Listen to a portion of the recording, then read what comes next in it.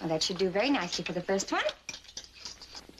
Now, let's see. If you'll come in the center of the room, please. And, um, Mr. Kingsley, I think it'd be nice if this time you'd hold the baby. All right. Let's see. I know what let's do. Uh, let's take one as though you were just teaching her how to walk. All You know, with the baby standing and you holding her hand. Yes. Like, uh, like this? Yes. See. Oh, no. No, that's too low. Will you put the baby on the box, please, Ruth? Oh. Let's see.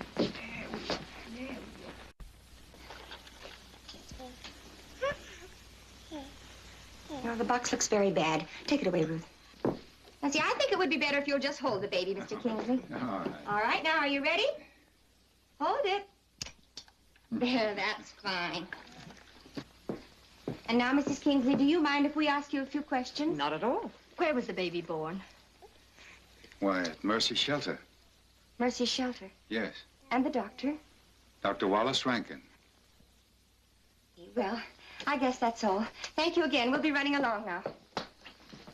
Goodbye. Goodbye. Thank you.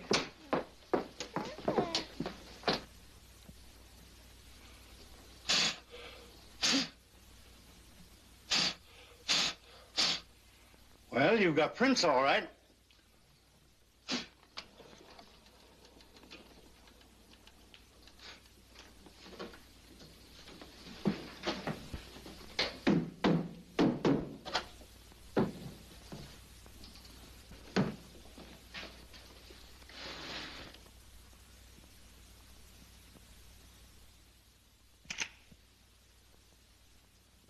Now, this is the footprint Edith gave you, Ruth.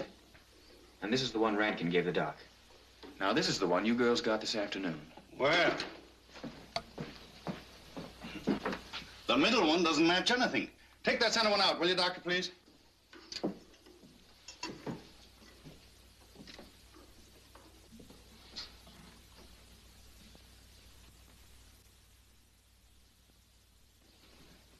About it, Mike? They match perfectly. Then we're all set. I think we are, almost. Then what are we waiting for? Thanks ever so much. Never forget you, Mike. Okay. Come on, let's go. Goodbye.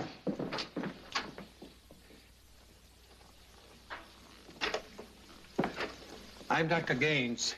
Mr. Kingsley is expecting us. I telephoned. Come right in, will you, please, sir?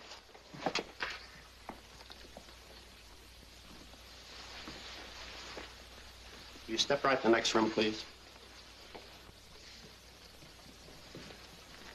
Good evening. Good evening. I didn't expect to see you again. Mr. Kingsley, we lied to you. We're not with the paper. We had to find out something, and we didn't know any other way to do it. I don't understand. I think, I think perhaps Dr. Gaines can explain it better than I can. It's a long story, and very important to you and to Mrs. Kingsley. We want to show you some footprints. Footprints of two babies, Mr. Kingsley. One dead and one living. I have them here.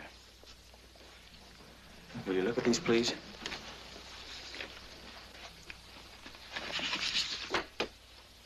These are the footprints of a little girl who was born at Mercy Shelter on May the 1st. This is the child's mother, Mrs. Williams. Dr. Rankin told me my baby died. Now, these are the footprints of a child that did die at Mercy Shelter.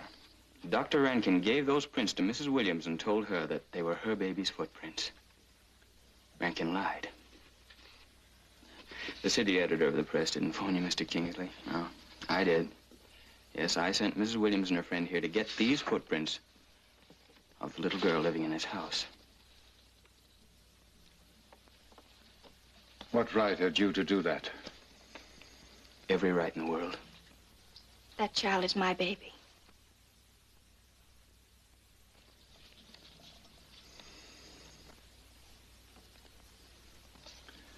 Will you all sit down?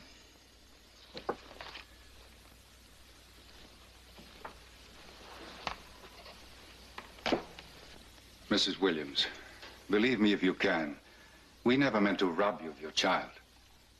My wife is in the nursery now with the baby. And I'd rather do anything on earth than go up there and tell her that she can't keep her. I've no right to say this, no right at all, but try to understand, please. We can do so much for your baby. We need her so terribly. I won't try to offer you money. I don't know what I can offer you, but if you could let us stay here, if you could find it in your heart to, to let us keep the baby. Arthur. You mustn't ask her that.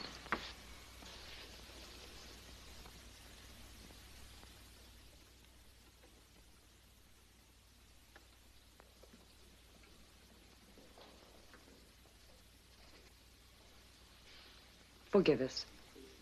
We didn't know. Would you like to come up and see the baby now? I don't think she's asleep yet.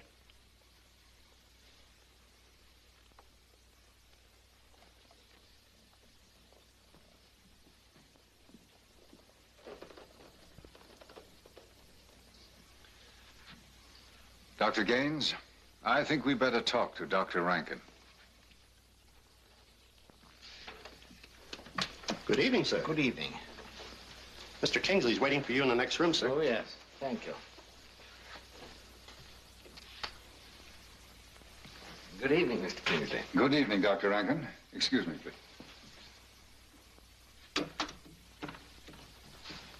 Uh, come and sit down.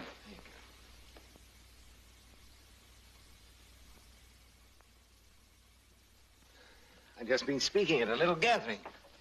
You're very good at that, aren't you, Doctor?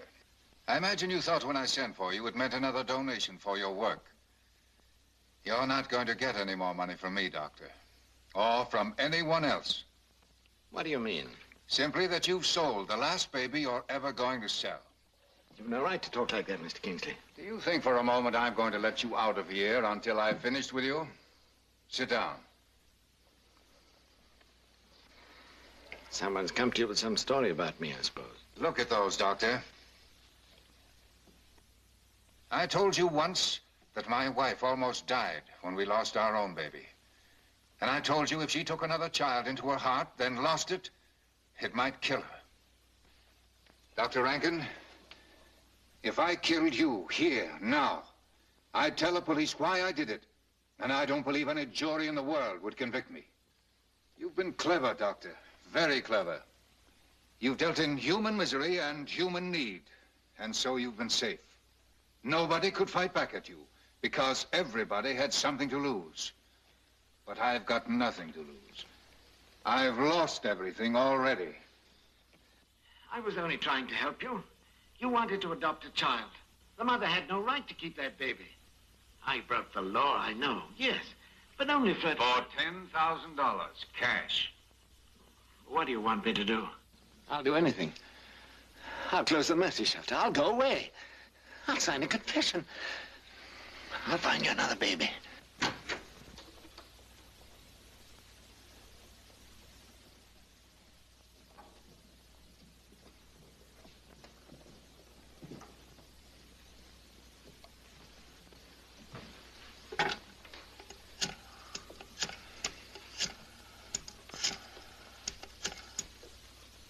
This is Captain Bryce. Send a couple of men and a police matron to Mercy Shelter to take over. I'll check with the DA about the charges.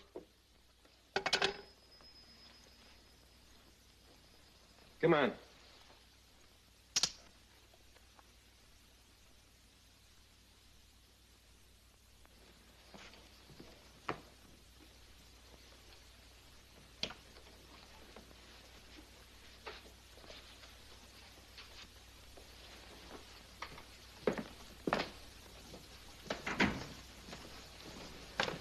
You'll let us come and see her sometime, won't you?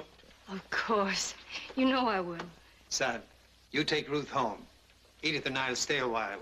We have a lot to talk about. Okay, Doc. Good night. Thank you. Good night.